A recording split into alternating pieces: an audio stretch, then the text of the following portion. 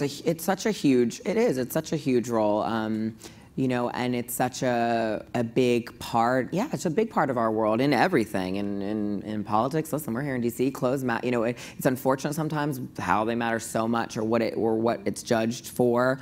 Um, but yeah, it matters, I think. Um, but that's what's exciting. I mean, it's it's the same thing with so many industries, art, uh, uh you know, music. I mean, music shapes cultures. I think uh, yeah, so it, which is why I think right now it's a very exciting time to be a designer and, and see people just like appreciate uh, things, you know, for to take a step away from everything else. At least clothes you can get to have fun with it. They should make you feel good. Like that's I think what it should be about.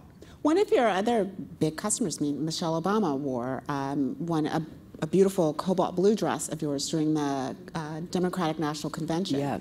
Um, a lot of designers came out one way or the other in their feelings about the current First Lady. Yeah. I mean, how did you feel about that and have, in terms of dressing her?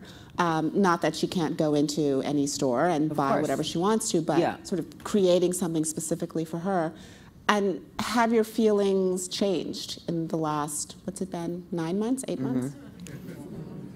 It was a tough Oh, now, now, people. um, um, I um.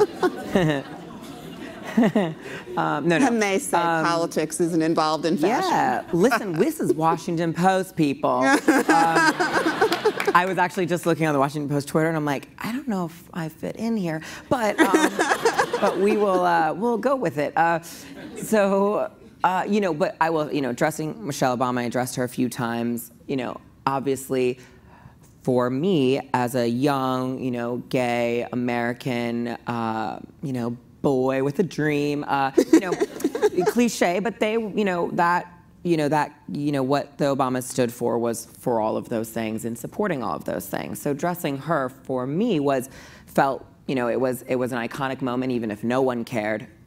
I cared because I, what she believed in, that speech she gave that night, mm -hmm. um, I believe in those same things. So with the new, obviously the new world that we're living in, unfortunately, I don't believe in their choices, so I don't feel like it would make sense for me to be a part of that, um, which, which, which goes with, with, and everybody, you know, can kind of take that, whatever, you know, I, I just, and then I think it's the same thing with like I said, an actress, a musician. Mm -hmm. If you're posting on social media, you you know you don't like gay people. Well, then why am I sending you a dress? So right. Uh, that it's just a that's just life. That's just normal. You you're who you're you know who you're friends with. If they don't support what you support, you're not friends with them. So that's what it is. It's, it has nothing else to do with anything else but that. That I think that's the most important thing. Um, that you have to, uh, I think, support what I believe in, um, women's rights, uh, gay rights, all those things, you know.